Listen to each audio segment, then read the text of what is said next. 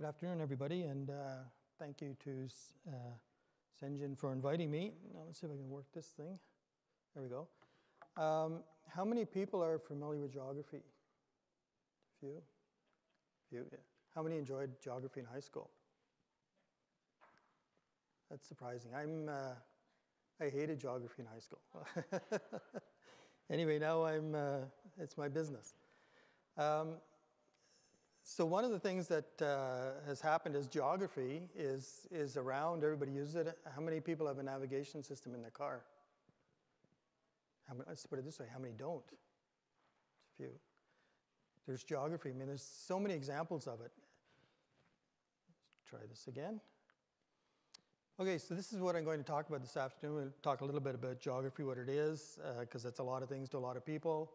Um, and what is a GIS, a Geographic Information System? So this is a, a digital system for processing uh, ge geographic data, and it's a little different than a lot of other things. And one of the reasons why I think I'm here today is because uh, my area is spatial data infrastructure. And spatial data infrastructure is uh, how you shuffle all this data around. There's all kinds of different kinds of data, and you need to get it from A to B, and how do you do that so that when A sends it, B understands it? And then uh, I'll look at a bit of uh, some examples of patterns of use. So we're kind of like lumpers. So instead of like the internet, just basically there's connections everywhere. We try to lump things together, try to make some sense out of it so you can adapt products, if you want to call it that, to, to your particular, um, what we call a pattern of use. And then a, a little bit of a summary. So basically, uh, geography is the science of the world, and um, it's how you you know, measure things on the world, how you position things on the world. And the other thing that really helps with is understanding what's going on. So there's a lot of things, you know, uh, uh, you know, where we live, the world is complex. I mean, there's, uh, you have no, how many people here have traveled the world? A few? Yeah, I have as well. It's, uh, it's a big place and there's a lot of stuff going on. And uh, there's really two things. You know, Mother Nature is doing a lot of stuff. There's a lot of things changing all the time. Um, and humans, there's a huge impact uh, from human activity on the world. So how do you measure these things? And they're always changing. How do you know what's going on? I mean, it's pretty hard to tell sometimes, but uh, it is somehow you have to uh, make some sense of it. And um, especially with uh, you know with what's going on, the human footprint is is huge on the world. I mean, you look at flying over the cities, you see how big the cities are, and and uh, you know some of the other things that are going on. You know the uh, what they call climate change. Um, you know that's going on. Although it's been going on for a long time before even we were around, but you know this was under 10 meters of ice here at one time. Um, so anyway, you have to somehow measure that. So for those who aren't into saving the world, you have some little more practical applications here. This is, uh, these are some of the examples of the kind of things that you can use this technology for. So, uh, you know, cities and environment and public safety. I mean, there's a lot of different examples of what you can do with digital geography. And so I'll get into some of those. Uh, so this is the GIS, this is the Geographic Information System. And basically there's several things, you know, you measure something on the world, uh, you uh, visualize it so humans can understand what's going on. You can analyze it and model it, and then you can do planning. So, okay, I'm going to do this thing, and then you actually do something, there's some kind of action. So, how many people know? Probably there's not very many. How many people know that the GIS concepts are actually invented in Ottawa? Oh, there's a few. Good. I'm surprised. I'm impressed, actually. And this gentleman here is the guy who invented it. Uh, Roger Tomlinson He's the uh, uh, Order of Canada. Uh, unfortunately, he passed away a couple of months after this photo was taken. But it was invented here in Ottawa back in the 60s. He used it for the uh, Canada Land Inventory System. And you can imagine what he was doing back in the 60s. Imagine the kind of computers it had. Anyway, he, it's, uh, it's a local technology which has been exploited now. It's all, all around the world. The other absolute coincidence is today is GIS Day. So I'd like everybody to stand up and say, Happy GIS Day to their neighbor. hey, come on, don't be shy. Happy GIS Day, everybody. Happy GIS Day. Happy GIS Day there who knew about GIS in Ottawa, and the other gentleman over here. Anyway, that's just a complete coincidence, but I thought I'd throw that slide in. The other thing, uh, I guess I, can I go backwards? Okay. The other thing, this is the, the slide that was provided to me. It kind of looks like they turned the world upside down. I don't know why they did that slide, but anyway, that's kind of what it looks like to me. Anyway, it's GIS Day, so. Um, so where are we today? So in terms of the te technology, I should say the uses or the patterns of use, you've got uh, systems of record, which are uh, basically you want to know where everything is. You have a record of that. Um, a system of engagement, and that's where a lot of this um, use of GIS data over the web and over the networks is, is done because you're engaging someone. So you have a data set here and the user over here, and somehow you have to be able to communicate and provide details back and forth. And then a system of insight where you can um, look at the data and make, do some analysis and get some results. So this is kind of the way we look at it. I really can't read the bottom part there, but uh, you see a system of record, insight, and engagement. But it's used for a lot of different purposes. I mean, it's just amazing what this technology is being used for. So some examples like air, land, and water. Uh, working on a lot of those. I'm actually working on a project right now on the maritime limits and boundaries. Uh, natural resources, when I was in the federal government, I spent a lot of time in Natural Resources Canada. Transportation, of course, everybody's using that for logistics, that kind of thing. Utilities, energy, getting energy to places. Uh, buildings and facilities, that's just a new one that's coming on. Business and commerce, like where are you going to put the local, the next Walmart, where are you going to put the next Canadian Tire? A lot of that work is done using GIS. And then health, uh, I think there were some examples this morning. And then another area which is uh, growing quite a bit is defense, uh, public safety, and security. So Canada actually now, and they mentioned CRTC, and we're, we've been dealing with CRTC a couple of times, but it's mostly on the public safety side. They've mandated that the 911 system be upgraded to another next generation, next NG911, next generation 911, and that's to be available in the next little while. And the interesting thing about next generation 911 is there's a requirement to have GIS included before uh, NG911 in your, in your, GIS, in your uh, 911 system. There was no requirement to have map data. So somebody would go to an event and had basically no information. So how does this work? Well, here, here's a, just a really sort of one slide example of how it works. You have base layers, and these are the basic layers that you would normally see on a map. So those would be the roads, the uh, uh, river systems, the lakes, that kind of thing. But one additional aspect, if you have a map, is that it'll have annotation on it. So it'll tell you, okay, this is the city of Ottawa, this is the city of Toronto. Another base layer that's quite often used are uh, images, and you can see an example there of, of raster image. And then, on, so once you have that, you have your base layers, then you put all these thematic layers, or sometimes known as business layers, or sometimes known as operational layers.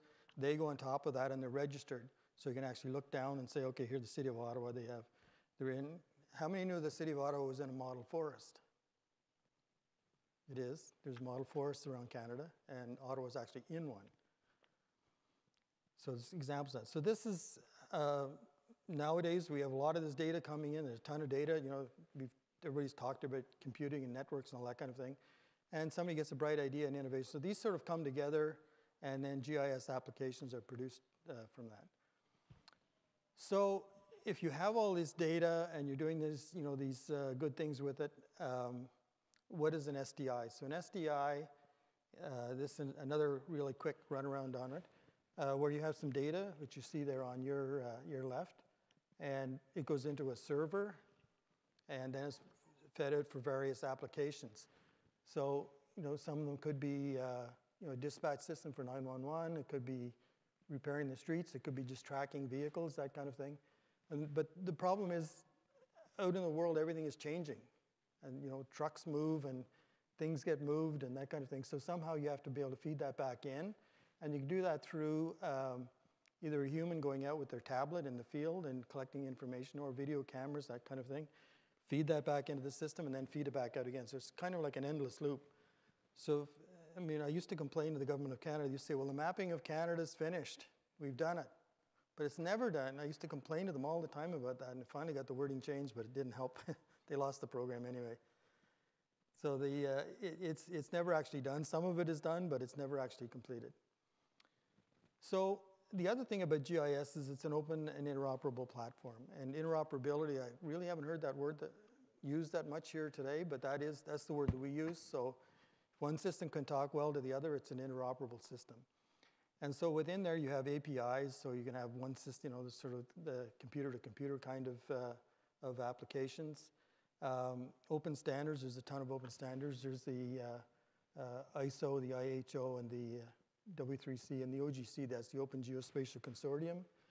And for our company, I sit on, I'm a member of the technical committee of the Open Geospatial Consortium. It meets uh, about four times per year, and if you're really interested, actually the last meeting in September was in Banff, but the one next summer, I believe it's in June, is in Montreal. So if you're interested in, in, in uh, geo, geospatial standards, that's where the international standards are developed. Uh, open data, big, big push now, uh, great push by the government to get their data out of their silos and out into the community and being used. And um, a lot of governments, uh, big and small, are making their data open now. Open science, um, you see some examples there. Python is, is one that where you see lots of lots of uh, applications and little libraries that you can use. And then uh, open source, and you just heard the panel, we, we use open source. Actually, there was last year, there was a, um, a survey done, uh, an assessment done, and it's pretty hard to, I mean, there were, people were discussing, well, you know, just some examples of where it's used a little and other examples where it's used a lot. It's hard to get a metric of what, how to measure this. But anyway, in, our, in this metric, they were talking about how many employees were providing information into GitHub and uh, Esri was actually in the low 20s, but uh, the one company that was less than us or, or, provided less was the next one down the list was Apple. So we're one step ahead of Apple. Okay, this is one I mentioned earlier about the data, different kinds of data. And uh, I'll just go into some of these in a little bit of detail. Uh, imagery is one, so there's uh, all kinds of imagery. I'll, I'll have some uh, additional examples of where that comes from later. Uh, tabular data, that's where you get even a, a, mailing list. Like they took the mailing list, and I've seen this done at many uh, um, sessions where they take the mailing list of the people who just registered for the event and plot it on a map. I mean, that's so simple to do. Um, unstructured, that's where you can go through a document and find information about spatial relationships and that kind of thing. You don't see that too much in the general community. You see that mostly in the intelligence community. Uh, vector, that's sort of the um, workhorse of GIS systems where you have a point, a line, and a polygon, and the, using those three kind of constructs, you can make most anything.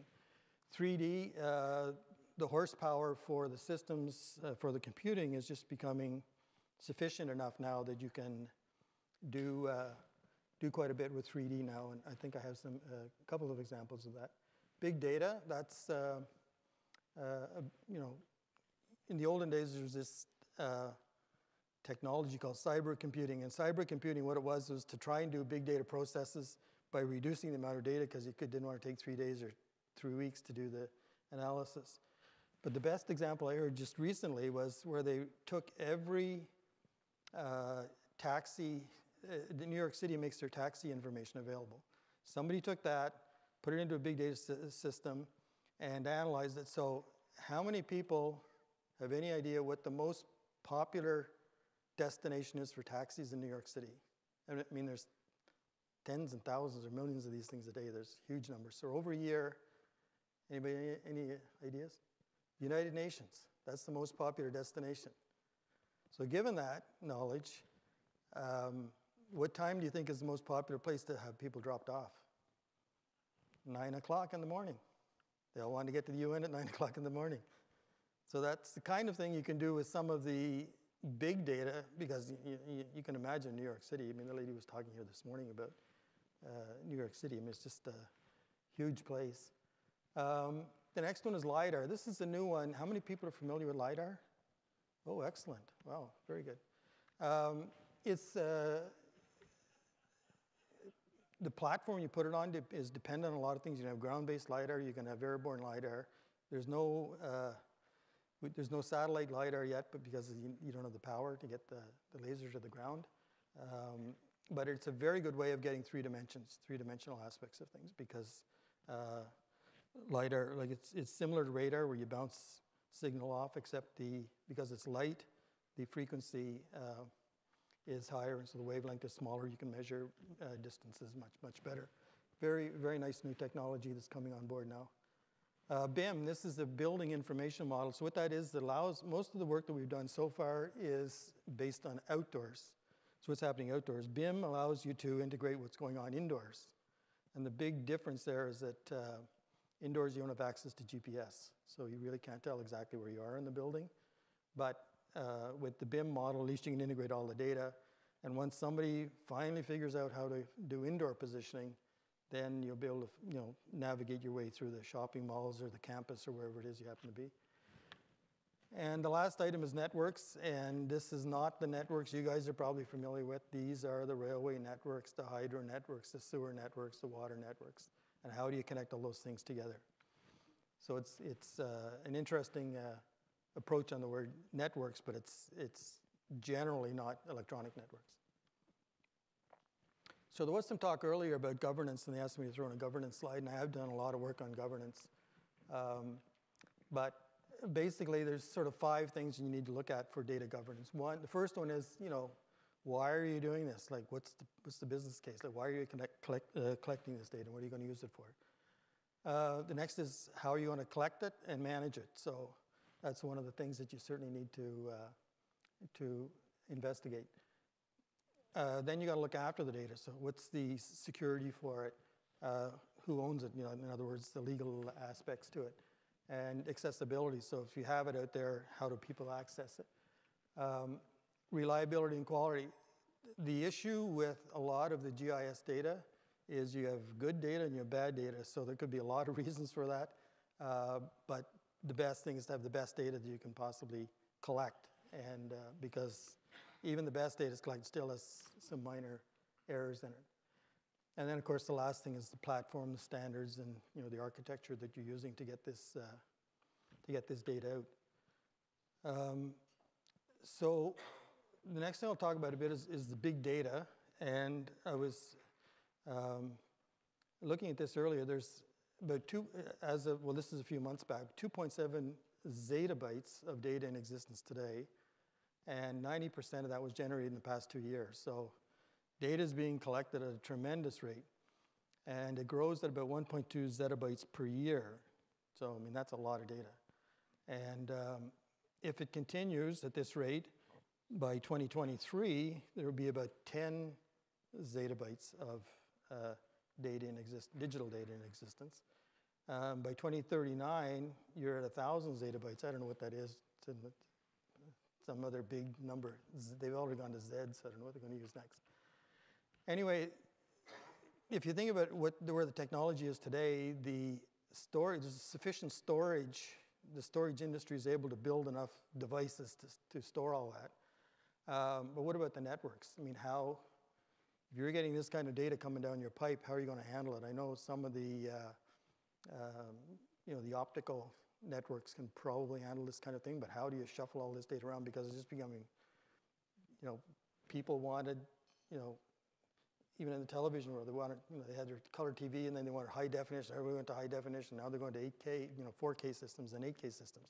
So everybody just wants more and more. Same with your phone or your computer. You just end up storing more and more stuff. And the problem isn't storing it now. The problem is how do you get it there and how do you get it out.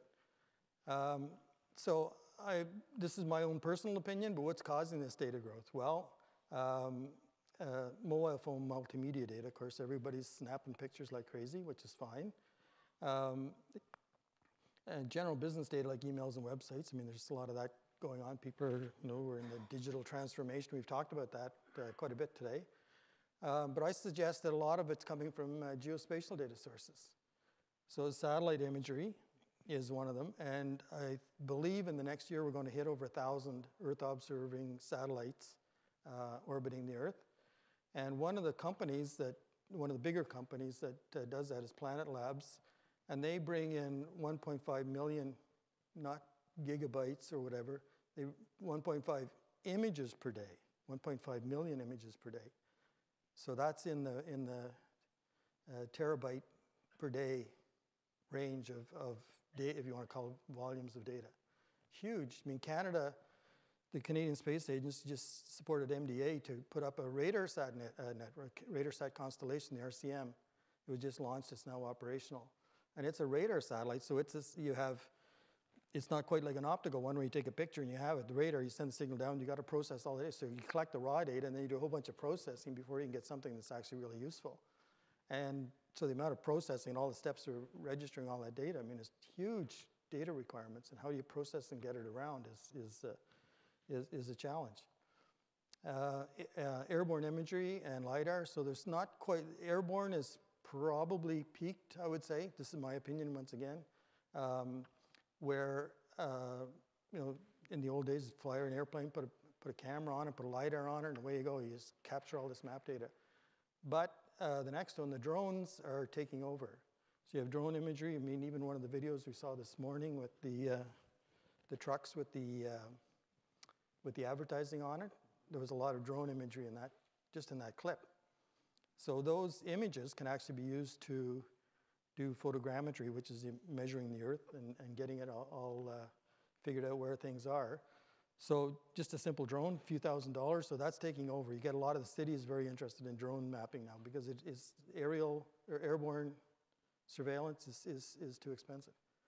Um, and then ground-based imagery. So you have trucks driving by, you have the Google cars driving by with all the, all the gear on it. I mean, it's, uh, you know, have, and you have stationary ones. You have uh, all your, your security cameras, all that kind of thing. Videos, mobile phones. You know, a lot of people are taking a lot of uh, a lot of images, a lot of ground-based imagery that's quite useful in uh, in various applications.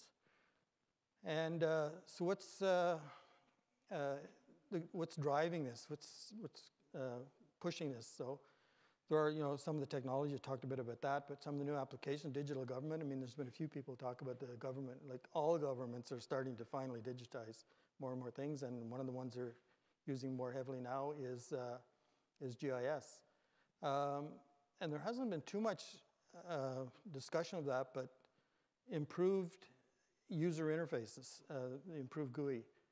If you make the, if you make the user interface so simple that anybody can use it, people are going to come to your site. You start getting into all these complicated things, uh, you know, filling out these forms on government websites. I mean, they just don't cut it anymore. You need to have it simple. Like Google had this figured out. You do a search in one line, no matter what it is you're looking for, same line. You go in there and do the search. So if you can get it down to that level, you're doing really, really well. Um, and then we're seeing a lot of increased uh, use of digital uh, geography in uh, the traditional sectors where you'd expect it. Uh, but there's uh, quite a, a, significant increase in what we call non-traditional industries as well. So there's a lot, a lot going on.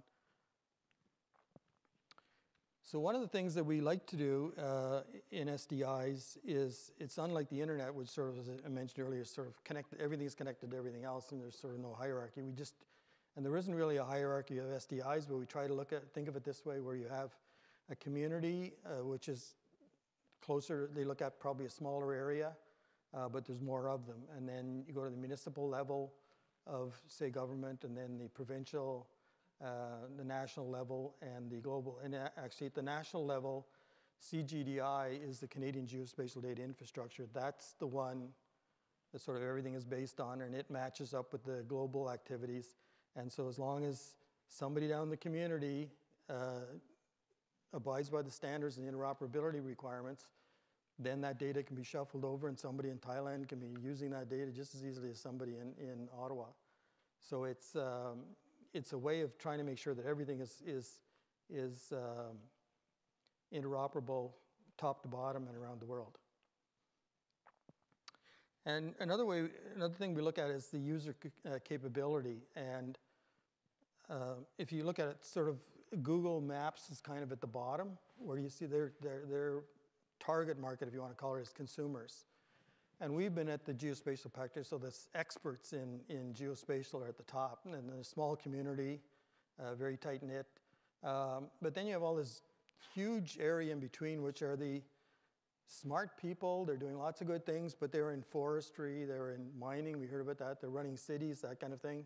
They don't really know that much about geospatial or mapping, that kind of thing. So that's where there's, in theory, a lot of potential applications of this kind of thing. Because you know these guys need it and uh, or these folks need it and um, it hasn't been dumbed down to the point yet where they can actually use it. So it's there's a, there's a, quite a bit of, of uh, potential activity there. So this on the web map side i mean everybody knows like you probably to get here you looked at uh, uh, some kind of map on your phone uh, a lot of people are doing that for if you want to call it consumer reasons, but there's a lot of other business reasons why people want to do web maps, and they're you know everybody uh, uses them, and they're at that level where they're dumbed down enough that anybody can use it, whether they have any experiences. So CENGN asked me to talk a bit about smart cities, and uh, so what's a smart city and what's a smart community? Well, there's some examples here. You know, the you know help improves the life of the people in the city. Um, you know, increased efficiency, you know, traffic, you know, everybody knows about traffic, uh, governments and communities, and um, smart, uh, the one thing is smart is not a, a, destination, it's a journey. So you're, it's just like mapping, you're never really done. Smart, you're never really smart. So it's a, it's a, it's a process, uh, but it is a digital transformation. And just recently, I don't know, a lot of you people are probably familiar with this, but Industry Canada, or sorry, Infrastructure Canada had a Smart Cities Challenge, and they challenged all these cities to send in their, their applications. And there's really four requirements, you know, uh, realize outcomes for the residents, uh, empower communities to innovate, uh, forge new partnerships, and uh, spread the benefits to all Canadians. In other words, do it in small place and then spread it out. Um, and I do write a blog and actually blogged on that particular one, but uh, uh, I do put out blogs and different things. But uh, in my blog, I mentioned there's four, the four winners there. So Montreal won the, uh, the big award, that was a $50 million award. Uh, Guelph and Wellington County, uh, smaller award. Nunavut and Bridgewater, Nova Scotia. So Montreal has improved mobility, uh, circular food economy, safe environments and digital connectivity, and access to home energy. The interesting thing about this is all the winners, there's an element of, of geograph- geography in all of those applications. There, there's not one of them that where there's no geography. So mobility, geography, you know, uh, circular food economy, where is it grown, where is it processed, where is it sold, that kind of thing. So if you have a chance, and I don't know whether, yeah, it did show up there, you know, snap that, you can get the uh, URL. This is the uh, proposal from the City of Montreal and the video that went with their proposal. That's an excellent one that talks about, um, I'll get to it here, uh, why you need data to make decisions. You'd be amazed, how, and I worked in government for a long time, so I understand this. How many times decisions are made with a lack of information? Nobody, nobody really knows, but sort of everybody, oh, we're sort of feeling this or we think that, because they don't have the data. I mean, that's that's the simple. That's the simple uh, simple issue. So they, uh, and there's many reasons why they don't, don't, have the data. Number one, it may not exist. Number two is they can't access it. Number three, they can access it, but they can't use it. They can't read it in their system, so it's not interoperable. And uh, another reason is they might not just be ready for the kind of analysis they want that they want to do. So I would highly recommend having a look at that, uh, that uh, video because it, it is an excellent video. Now this, if you're, uh, if you've ever been, if you've ever gone to a presentation, uh, how to make a, pre- how to do a presentation, what they say is don't put too much stuff on the slide. So what do I do? I put a ton of stuff on the slide. And why did I do that? This, if you're running, say, a city, there is a ton of stuff going on. I mean, the only reason I put tornadoes on is because we are in Ottawa. But uh, you can see some of the others construction, energy, police, crime, uh, factories, forests, I mean, everything's, I mean, there's a lot going on. And how do you try and holistically look at all of this stuff that's going on and, and try and make some sense of it? So, what we try and do, rather than like just picking one, like let's pick, uh, I don't know, lightning strikes or thunderstorms, like what the impact of that if something happens. Um, rather than doing the individual precision farming or precision uh, uh, public works, that kind of stuff. Instead of looking at each individual one, you try and compartmentalize them. So this is how we've compartmentalized, we compartmentalize SDIs. Um, one is mapping and visualization, monitoring. So you're just watching what's going on. Field mobility, so you're sending, you have people out in the field. Uh, data management, uh, ana- analytics or analysis, uh, sharing and collaboration, so we get the data around, decision support, citizen engagement, and design and planning. So I'll give a couple of examples of some of these. So mapping and visualization, um, I don't know how well you can see it, but uh, the one on the left in the middle, that's the underground infrastructure. So there's two examples there. One is the upper one is sort of virtual reality, where everything is virtual. Where the second one is you have you actually see the street or whatever, but if you're looking at your phone or whatever, you can see the infrastructure underneath the street in in uh, say the Piper in that in that example. So those are, there's a lot of those that are actually going on, and and actually one of the about a year ago we. Uh, um, we noticed a huge spike in the use of Canadian data uh, just in late summer, and sort of what the heck's going on here? Somebody did some analysis. Any anybody think of anything that any rage that happened about the end of last summer? Not uh, yeah, last uh, sorry, not last summer, the summer before. Pokemon Go. Can you imagine? They were hitting the servers, and all of a sudden they. So that's that's your augmented reality, and how it can impact things. Um, how many would have thought that taxation was a, a, a GIS application? Right? Yeah, there's a few here. Yeah, if you're if you're assessing properties, there's a lot of things, especially in Vancouver and other. This is actually um, Maricopa County in the states, um, where uh, based on the elevation and the view and how much sun you get, your your assessment will be different. And I see I'm running out of time, so I'll run through these a little more quickly. Uh, data manager, we have uh, the community map of Canada, which you can see on the left there, and we're getting data in from hundreds of different uh, cities and provinces, whatever, they're open data, feed it in automatically and, and, update the map. So some we have to keep track of it. So that's that, uh, that one there. Uh, networks, of course, drone imagery. This example here is where uh, just a drone image of, a, of a, a house. But the interesting one for you folks is the one in the upper uh, left corner, that is a cell phone coverage map. And I'll tell you right now, that's not for Canada because they don't have it. They won't allow it. The, the companies won't allow it. Um, and we actually went to the CRTC to talk to them about next generation, next generation 911 when they founded the business they were in. They said, "Can you produce that map for Canada?" They said, "Wow." Okay, so I see I'm getting the hook here, so I'll try and uh, field mobility. You can go out in the field, can collect all kinds of data. Uh, monitoring, um, so CCDs, uh, uh, your, your video, uh, C, C, um, your CCTVs, you know, the viewshed, monitoring, uh, even Edmonton here has a, a pothole dashboard. For they have so many potholes, they have to provide that to the city or to the folks. Analytics, a lot of examples here of different examples in, in um, in analytics uh, for planning, um, visualization of new structures, um, predictive maintenance, risk planning, that's a, a huge area. Uh, decision support, so this is the one I was talking about earlier where you try and make your decision based on real data. Uh, and we are working very closely with New Brunswick on their um, uh, New Brunswick NG911 system.